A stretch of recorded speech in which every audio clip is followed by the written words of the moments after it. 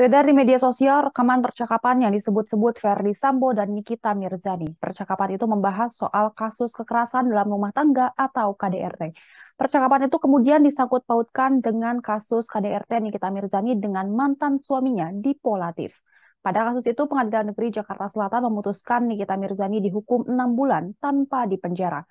Meski belum terkonfirmasi, publik menduga ada campur tangan Ferdi Sambo dalam kasus tersebut.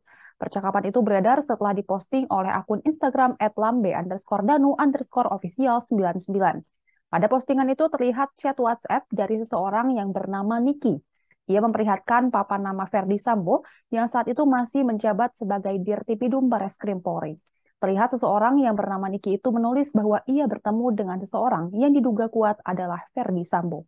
Meski begitu, ia meminta agar orang yang ia kirimi pesan singkat itu untuk merahasiakannya. Sosok Niki itu juga menulis bahwa sosok yang diduga Ferdi Sambo itu membantunya untuk menyelesaikan kasus-kasus yang menjeratnya. Percakapan diduga antara Ferdi Sambo dan Nikita Mirzani tersebar dalam bentuk rekaman suara. Pada rekaman itu, Nikita Mirzani menjelaskan jika dirinya mendapat panggilan sebagai tersangka. Diduga percakapan itu terjadi setelah Nikita Mirzani melahirkan anaknya yang ketiga.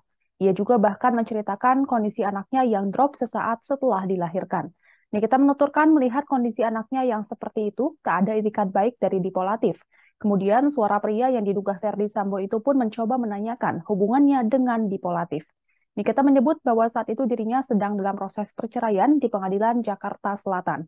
Setelah menjelaskan kondisinya, Nikita lantas mempertanyakan kembali bagaimana tanggapan dari sosok yang diduga Ferdi Sambo tersebut.